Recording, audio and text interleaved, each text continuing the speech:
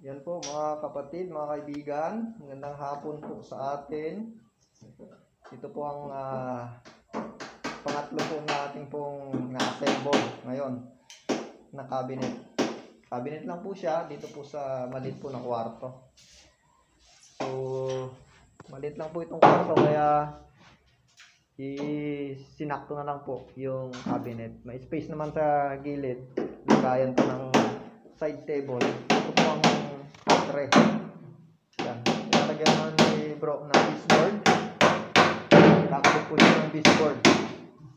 Yan, maingay po siya. Dito naman po sa isa, na finish na po ito.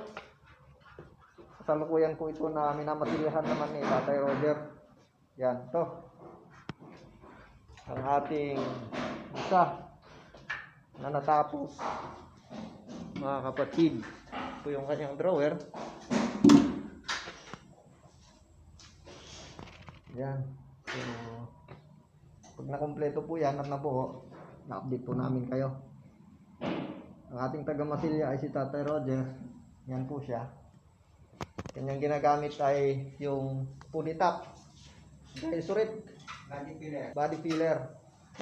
Yun ang gusto niyang gamitin dahil mas mabilis daw matuyo. Kaysa dito sa aking ginagamit na Pioneer Epoxy. Ito naman po ay 6 hours yan bago yan matuyo. Itong ito.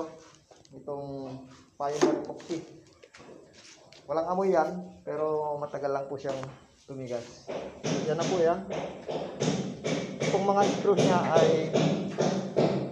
nilagyan po niya ng ano ng body filler.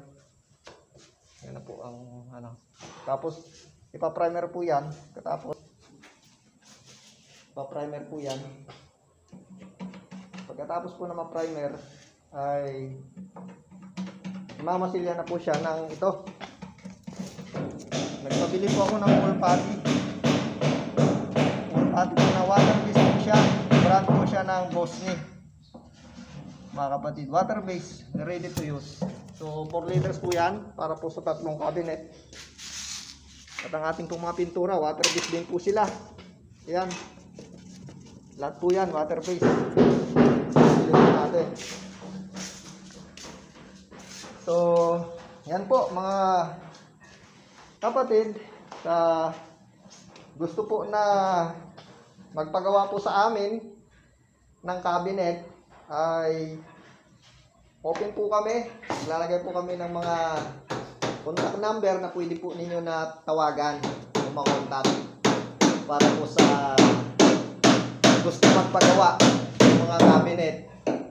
Ayan mga kapatid. So bahay po ito ni Elder Ben Racadjo.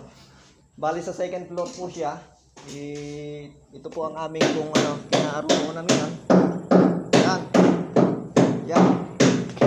Ito po ay Camtinyo. Lugar po ng Camtinyo. Yung kanyang likod, ayun, ng kampo ng mga sundalo. Mga official po karamihan ng mga nakatira dito. Sila po yung mga tatayo. Yan po, update po tayo mamaya-maya lang kung magiging kakalabasan po nito. Thank you. Mamaya po. Salamat. Bye-bye.